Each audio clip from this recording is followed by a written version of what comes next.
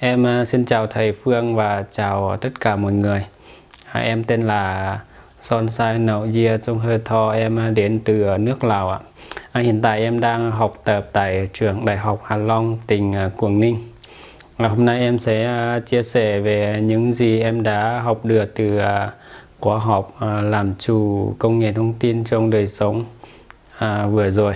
Em đã sang học tại Việt Nam đây ờ, được ờ, hơn ờ, 3 năm rồi. Và đây là một khóa học đầu tiên em từng tham gia.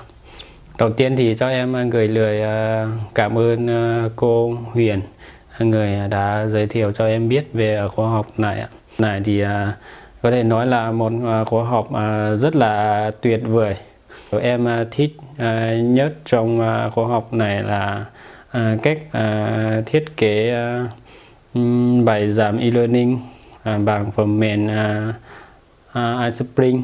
Cái này cái này em thấy à, rất là hay và rất là cần thiết à, đối với các thầy cô giáo đang à, giảng dạy. Và ở đất nước Lào của em thì à, em nghĩ à, vẫn còn à, nhiều người à, chưa biết à, về cách à, thiết kế à, bài giảng à, e-learning. Sau này em à, về thì em có thể chia sẻ những kiến thức đã học được từ thầy cho các thầy cô giáo ở bên Lào của em.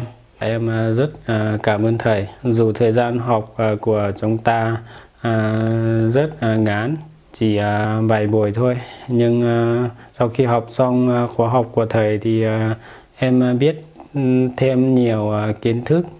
Ừ, chẳng hạn như à, à, biết cách sử dụng các tài liệu văn phòng online như Excel, Word, PowerPoint và biết cách rút gọn link biết cách sử dụng QR code và biết về cách thiết kế bài giảng e-learning bằng phần mềm aspirin và biết cách uh, sử dụng à, uh, Canva để thiết kế đồ họa uh, một cách uh, rất uh, dễ dàng và biết thêm uh, nhiều uh, cái khác nữa.